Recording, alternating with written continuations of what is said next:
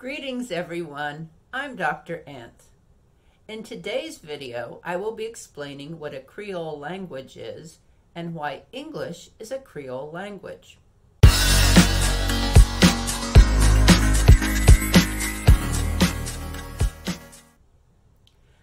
Linguists put English into the Germanic language family.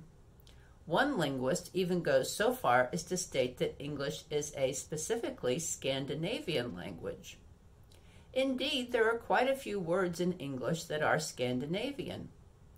Here are a few of the many words anger, awe, big, birth, cake, cross, die, dream, egg, flat, gift, guest, hug, leg, loan, mistake, root, seat, skin, tight, trust, ugly, and window, and the days of the week.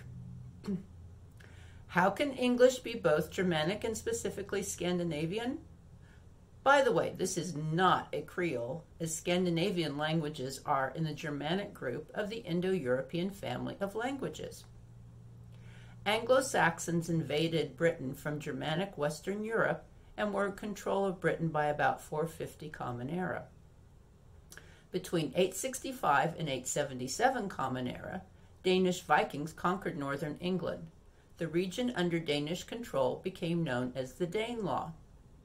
Danish control lasted about 100 years, but had a lasting impact on place names and vocabulary.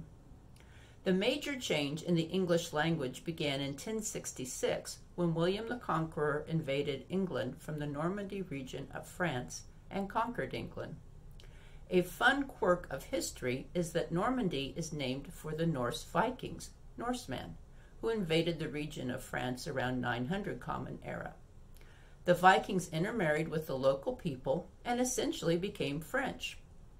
William the Conqueror, despite Viking ancestry, was a French speaking aristocrat. Now, what is a Creole language? A Creole language is a combination of languages that not only changes vocabulary, but also changes verb structure and tense. German has a very different verb structure from English. English speakers say, it rained yesterday, it rains today, it will rain tomorrow. But in German, it would translate yesterday it rained, today it rained, tomorrow it rained. The verb form does not change. In French, the verb form changes as it does in English. As pointed out by Kenneth Chen in his TED Talk, English is an outlier among Germanic languages. See the link to Chen's, TED Talk in the description box below. Chen calls languages that do not change verb tense futureless languages. German is a futureless language. Languages that do change verb tense are futured languages. Both English and French are futured languages. English is a creole of German, Scandinavian, and French. French vocabulary was not just added to Germanic English the entire verb structure was changed to a French verb structure. How did this happen? This is my hypothesis. Beginning in 1066, the rulers of England spoke French. Therefore, all governing was done in French. The elites in the kingdom all spoke French. However, the peasant working class spoke a Germanic language I will call Angloish.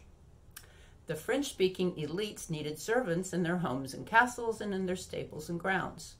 The source of these servants would be children of the peasant working class. It was common for children as young as six or seven to begin such work. To do their jobs, the children would have to learn French.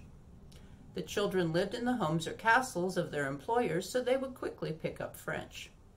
When they went back to their villages to visit their families once a week or so, they would speak Angloish. For a long time, perhaps a few generations, these workers would be bilingual, speaking both Angloish and French. However, at some point, the two languages would begin to merge into a new third language, which we call English. English is a Creole language. It is a combination of Angloish and French, but with a French verb tense rather than the original Germanic verb tense. Watch the second video in the description box below to learn how a linguist in Australia saw a Creole language being created by children in an isolated outback community.